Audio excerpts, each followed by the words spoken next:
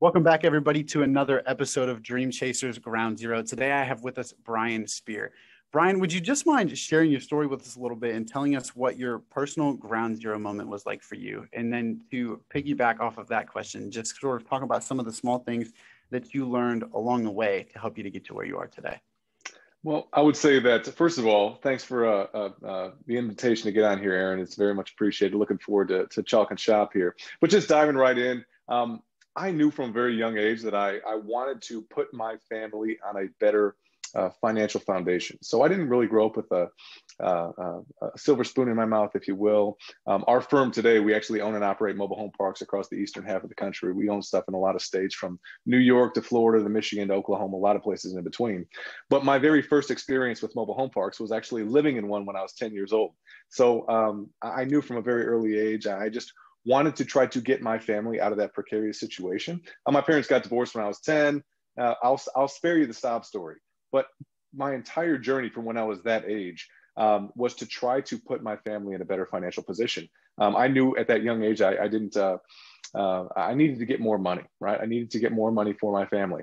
At that point, uh, the, the, the, wheels start turning. You start thinking, how, uh, how can I get more money? Um, at that time, um, I didn't have any, I need a good job. Uh, how do you get a good job? I need a good degree. How do I get a good degree? I don't have any money to go buy a college degree. I better go.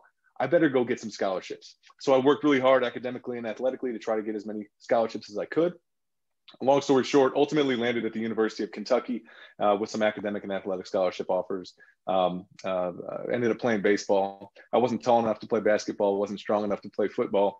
But um, in baseball, you could be any size and shape. So I taught myself how to hit both right handed and left handed so I can get more notoriety for, from college scouts.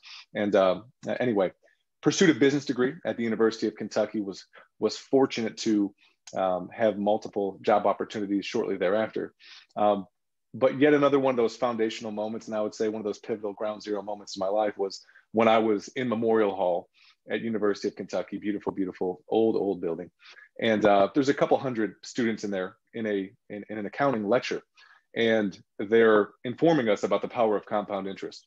Everybody's stumbling in at 7:30 in the morning for an eight o'clock class, and I look around. There's 190 kids that are in their sleeping pants still. You know, they're all wearing hoodies and and like still passed out. Like I mean, and and and I'm looking around while this individual is, is conveying to me the power of compound interest.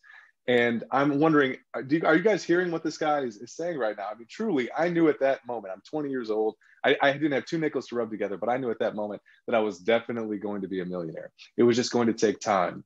And from that point, truly, it was doing everything that I could to save as much money as possible, building piles of cash, in an effort to turn them into streams of income in the investment world. At that time, I didn't know exactly what that meant, but I knew that I needed to garner as much capital as I could to invest as much money as I could in an early age to provide my family with that firm financial foundation that I'd been so yearning for all those years ago. Um, and that's kind of what, what, what set me about my, my professional journey shortly thereafter. I'll keep it rolling here. In my 20s, uh, I was very fortunate, had multiple different job opportunities, was one step beneath academic All-American at University of Kentucky. So um, had a couple of opportunities shortly thereafter uh, and just basically chose the job that was going to earn me the most money. It wasn't the preferred uh, position, I wouldn't say, but I was willing to put in the work so that I could earn a, a healthy six-figure living uh, to, to generate those piles of capital, all the while knowing that I wanted to get involved um, in the investment world and go full uh, full-time real estate um, so that I could get a little bit more of that, that uh, lifestyle freedom. Um, along the way, while I'm doing that, I'm, I'm, searching for a mentor, somebody that I can leverage their respective skill set, and I can bring my skill set along the way uh, in an effort to to create a you know a mutually beneficial relationship. One plus one equals eleven, if you will. Um, you know, I know you're rocking the podcast, and it's it's phenomenal. It's an amazing amazing medium and a phenomenal platform. And I was a very early adopter of podcasting as well. Um, I'm sure that there's a lot of folks out here listening and looking up to you and what you're doing today. Uh, I was similar years and years prior. Um, 2013, I remember listening to a podcast by Kevin Bupp. And Kevin, uh, uh, fortunate to say he's my business partner today, but at the time, um, he was just in my ears from a distance, didn't know me from Adam. And uh, I went ahead and uh, reached out to him cold and said, Hey, buddy, I tell you what, man, I love your story and I've got an offer you can't refuse. I'm going to come down to Florida full time. I'm going to bring hundreds of thousands of dollars and I'm going to try to help you grow your business. I want to work 60, 70, 80 hours a week. I don't want you to pay me a dime.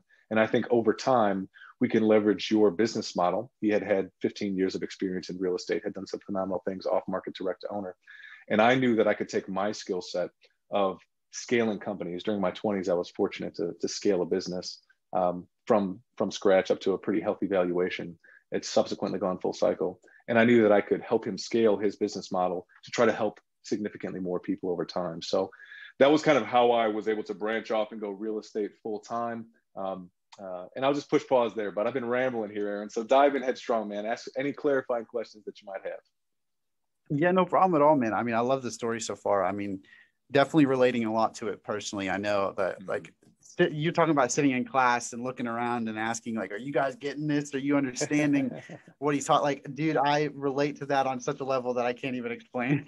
Like um, just to where I, I really look around at a lot of my peers and i'm like what? Like aren't you guys understanding? Like this stuff is huge and there's a lot of stuff that people my age could be doing and they just don't pay any attention. And that's a lot of where starting this came from because I'm like, more people need to know about this and it needs to come from somebody in their shoes rather than just, I mean, like, while there's tons of guys out there, I mean, with really, really, really informational podcasts and stuff that will tell you everything you need to know, it's just not really coming from a place that they're interested in there and they're not, it doesn't exactly light that fire in them. So, um, like I was saying, I'm just kind of, um, I really relate to your story there and I understand a lot of exactly where you were coming from and um, really um, the wanting to get your family out of that situation that's like exactly what i'm in right now. So you know whole mm-hmm. story hit home is really all i'm trying to say. Just i 100% understand where you're coming from but uh yeah, yeah. for me i guess um i'm sorry you did you want to add something there? Well i was just going to say i mean um first and foremost i'd say two points. One is that oftentimes uh, the, the, the old adage goes that you need to say something seven times before somebody can hear it for the first time so irrespective of all your respective peers, and you know, you might catch it and it might resonate with you a little bit earlier, uh, but oftentimes it just the, the, message just needs to continue to get drilled home, home over and over and over, and then eventually, I think that most folks do eventually uh, uh, realize the the significance and the uh, um, uh, uh, the veracity of the statements that you've been sharing along the way, and then then secondarily, oftentimes it's just you have to have an individual or an authority figure that shares the message that will ultimately resonate. Um, that's why podcasting is such an amazing medium. Um, back in the day, right, uh, people would look up to TV stars and um, sports uh, sports stars, athletes, and things of this nature. And while that certainly is still true today, um, those individuals were the only folks that had really broad mass media, multimedia attention. Uh, I mean, it was extremely expensive to get television spots, et cetera. So that one individual that was up on TV, everybody basically had to listen to that individual because there were only a couple of mediums available. Today, with the advent of podcasting, you can have a very small tribe, you know, exceedingly small tribe, just a couple of few thousand folks, but your specific message will resonate significantly more deeply with those individuals as long as you can find folks that have common paths common history common background and you can help out uh, uh, those folks i would say even more so than what some of those folks on tv could. Um, it's very difficult to relate to those individuals. They'll never really walk in our shoes. They won't have the same exact sort of experiences that we will. Uh, but i mean i've i've i've been fortunate to see the you know how podcasting has evolved over the past seven eight years. And um, the, the, the, amazing differences that it's made in the lives of many. So um, anyway, I just feel like the message ultimately has to come from somebody that has had a similar path historically to have that message truly resonate. But uh, in, in any event, uh, Aaron, I love every bit of that, buddy. Yeah, I think that's one of the things I truly love about um, how Adam and I kind of crafted this whole message together is that really kind of no matter where you come from, no matter what you're doing, everybody has that quote unquote kind of ground zero. Like everybody had to start somewhere. Mm. that's one of the things that I really love about the message that we're trying to share is just that like no matter wh- who's listening, what they want to get into, everybody can pretty much relate to what that felt like. And then they can all kind of find community in that space and, you know, help each other grow from there and, you know, learn alongside of each other. So that's, like I said, that's just one of the things that I really love about what we've been doing here. But as far as your story goes, um, I know you mentioned that you were able to, um, you, you mentioned that you were able to grow and scale a business in your 20s and that, that's partially what I'm trying to do right now. So I'm actually genuinely curious about this one. Is that um, just I just kind of wanted to ask a little bit more about that, just sort of how you went mm-hmm. about that. Um, I know one of the things that I'm struggling with right now is sort of like a, like a work life balance thing. Like for me, I, I really want to make sacrifices now to put myself ahead, considering like what nobody else is doing right now. But I also know I'm young, I'm 20 years old. Like I don't want to necessarily, I don't want to say waste this time, but I don't necessarily want to completely miss out on my younger years too, spending all of my time trying to necessarily focus on growing and, you know, scaling a business. So um, I guess we'll just start there. I just partially want to ask sort of how you were able to kind of work your way through that time, you know, uh, balancing those things in your life. Fair. And um, I would, I'd convey a couple things. One, back to the lifestyle uh, business. Ultimately, when you do make the decision to go full full time and you're seeking to build your resume and your entrepreneurial venture, whatever that might be, um, you have to make a decision from the outset, in my opinion, what kind of business you're seeking to create. Um, you can create a business that is a lifestyle business um, that provides you a certain level of, of security and size and scale, um, or you can choose to create a performance business, um, which is a, a different uh, a different venture altogether. So a lifestyle business would be much more akin to folks that are out and, and trying to create a, a, a, real estate company for them and their families. Um, and they might have somewhere up to roughshod 50 employees, something like that. Uh, but the, the likes of Uber uh, and the folks that are exceedingly phenomenal disruptors out in Silicon Valley, they're oftentimes much more performance businesses that are move fast and break things, and they're trying to get to significant scale very quickly. Um, Uber, Tesla, Facebook, Google, you can keep going. All of those respective businesses oftentimes are are in the red in the first handful of years of growth of their business, and in order to really get to scale quickly, you have to sacrifice a hell of a lot along the way. Um, to beat your competitors in that sort of structure, I mean, you're sacrificing a hell of a lot along the way in order to to do that. Um, Kevin and I have decided that ultimately we're going to create a lifestyle business. Um, we've never missed any family events and we'll never do so. I would never ask him to forego doing anything that he would want to do with him and his family. If any time uh, I or he would like to go take a little bit of time for our families and our wives and, and, and, and et cetera to, to enjoy life, the fruits of our labor, we'll certainly do so. Uh, but I think that that needs to be established in advance, especially if you have partners. Um, otherwise, there could be some underlying fester festering uh, frustration that occurs um, over time. So I think today I had the luxury of saying that. I would say that in my 20s, I was the guy that was grinding every day, doing whatever it took uh, to make it happen, right? So I don't know when the flip uh, uh, switched for me, uh, but certainly in the 20s, I was I was out there doing anything that it took in order to build the resume and the foundation to afford me the opportunity to have a little bit more freedom later, and I was willing to sacrifice to do so. It's it's it's. I think over time, what I've realized and experience has shown me is that that time never ends. If you're willing to sacrifice in your 20s, it's likely in your personality and your DNA that you'd be willing to sacrifice in your 30s, you'd be willing to sacrifice in your 40s and 50s and beyond. Um, I think that over time, the more that I've I've been in business, um, you just have to make the decision in advance that you're going to carve out time for friends and family, irrespective of how your individual entrepreneurial venture is going, or else time will just fly right by you. So um, I think that over time I've learned that uh, you have to make the decision in advance.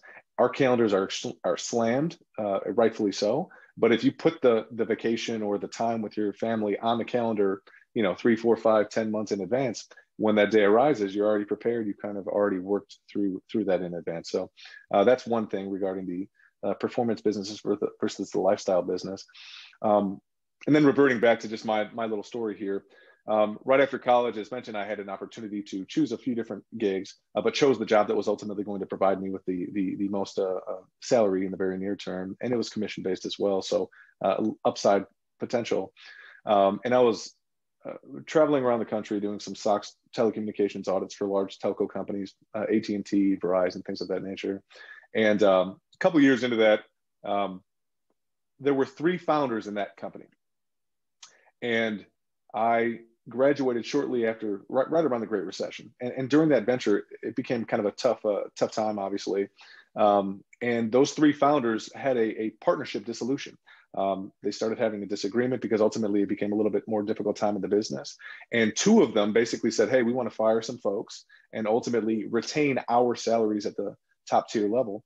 And one of the individuals said, look, I'd prefer to take a hit, um, not take any salary for as long as it takes to ensure that we kept the employees uh, on the dole and, and, and uh, um, comfortable.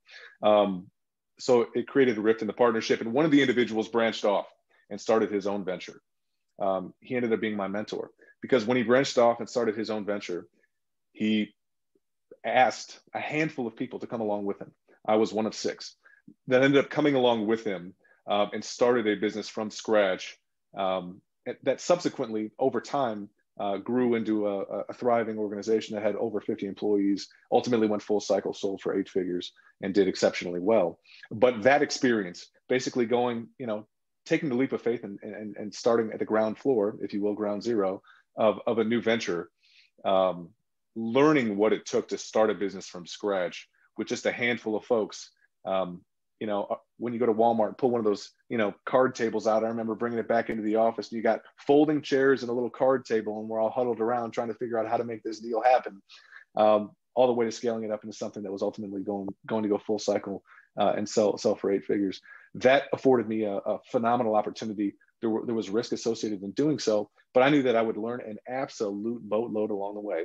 And knowing full well that I wanted to go full time in, in real estate and be an entrepreneur of my own, um, that was um, an experience I'd never uh, uh, be able to, to, to, to, do again and certainly wouldn't take for granted. So even if that flopped, uh, I knew that I would learn a ton along the way. Um, fortunately, it, it, did very well and afforded me the opportunity to have certain liquidity to, to go full time into real estate shortly thereafter. But uh, yeah, anyway, that's the, that's the story on, on that respective venture. No, I love it. You know, um, and one of the things you just mentioned there, was um, that um, you didn't necessarily know how it was going to go, but you were just kind of willing to open yourself up to that opportunity and see what happened. You knew you were going to learn a lot, and you knew there was you know massive positives, but there could also be negatives. You didn't know where that was going, and I know that for a lot of people, when they don't know, there's a lot of fear associated with that. So one of the things I always like to ask um, the guests on here is always just kind of how did you kind of handle that fear? And, I, and I'm sure there was some existing for you at that time as well, just that uncertainty, not really knowing what was going to happen, but being willing to put your cards on the table and just kind of let fate, if you will, just kind of take you in its hands and see what was going to happen next. I agree, um, and it's it's it's not an easy uh, decision to make. Um, I just know that that fear that you feel, um, I have found historically along the way in many many different experiences that I've had when I have that level of uncertainty and that fear, if you will, um, it provides you with an opportunity. And oftentimes it means that I need to push the gas and push forward through that endeavor. I remember when I was a very, very young, young, uh, young, young adolescent, and I read a, uh, a quote that has stuck with me. Courage, courage is not the absence of fear. It is being afraid and being willing to, to push forward anyway, in spite of fear. And, and that always um, helped me um, in those moments where I felt that there was some risk or or there was some uncertainty. It certainly helped me in, in sports. Um, in, in you know bottom of the ninth, you know bases loaded, down two, three two count, two outs, no fear. You know what I mean? Uh, just that uh, knowing that that's the time to push forward. Um, I think is built in your DNA over time. And again, it has been my experience that when I, when I do push forward in that those those um, situations, it has always turned out for the better. Um, when I was in college, I spent two years at Wichita State actually, and then ultimately chose to walk away from a full scholarship and uh, head over to the University of Kentucky, where I only had a bit of academic money and had to re earn my scholarship at the University of Kentucky uh, two years later.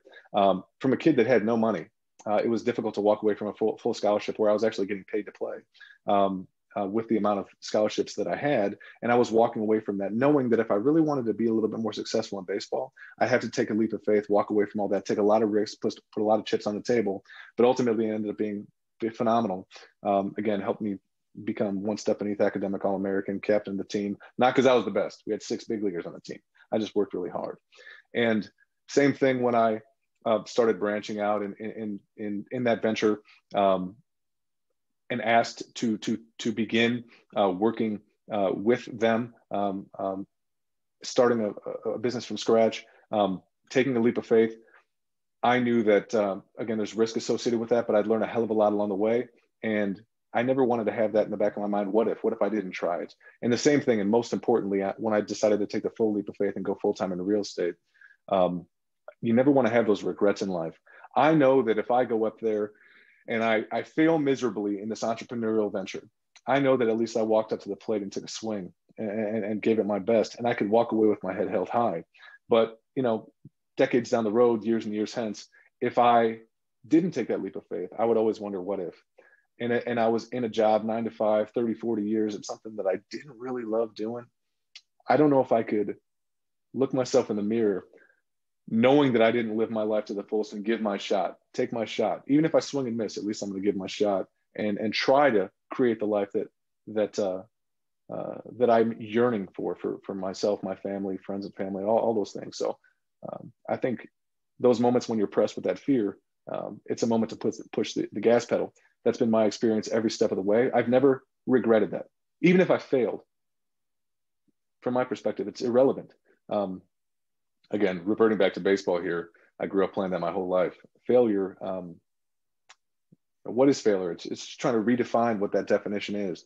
Uh, folks that, that that are baseball players that are hitters go up to the plate and they they fail 70% of the time. They hit 300. They go to the Hall of Fame, some of the best players in the history of baseball, and they fail 70% of the time. Um, it's okay to fail as long as you fail forward every time that you you hit a brick wall. You just keep pushing forward, fail forward, one foot in front of the other, and eventually, inevitably, ultimately, you'll be successful.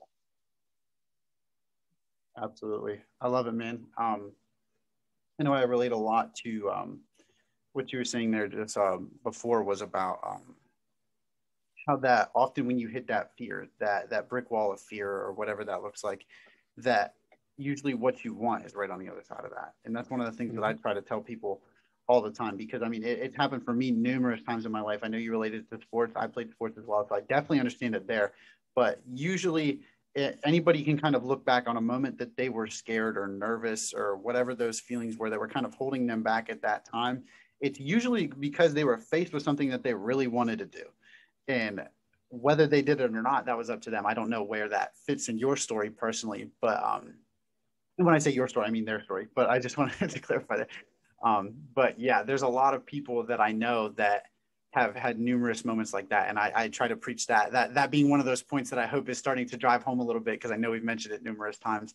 But yeah, failure is usually a sure shot, a sure sign that there's something you want to do right on the other side of that. If there's something that you want, there's some sort of goal or something that you identify with that you're shooting for, that you want, that you have some sort of drive towards, and that's all part of like you see these big people now that you think are fearless and you know that do all these things and make all this impact in the world and stuff but they didn't start there. It all started with them overcoming that fear one time and they had to just take that step and then do it again. That's where courage comes from.